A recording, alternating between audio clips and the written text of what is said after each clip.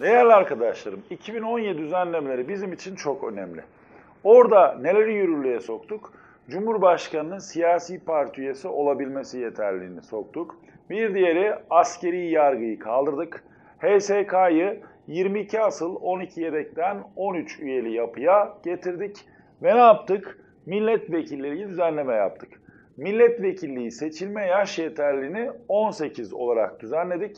Bunu düzenlediğimiz zaman da tecil hükümlerine yani tecilli kişi milletvekili adayı olabilir hükmünü de artık kabul etmek zorunda kaldık. İşte bu sebeple bunlar yürürlüğe giren hükümlerimiz.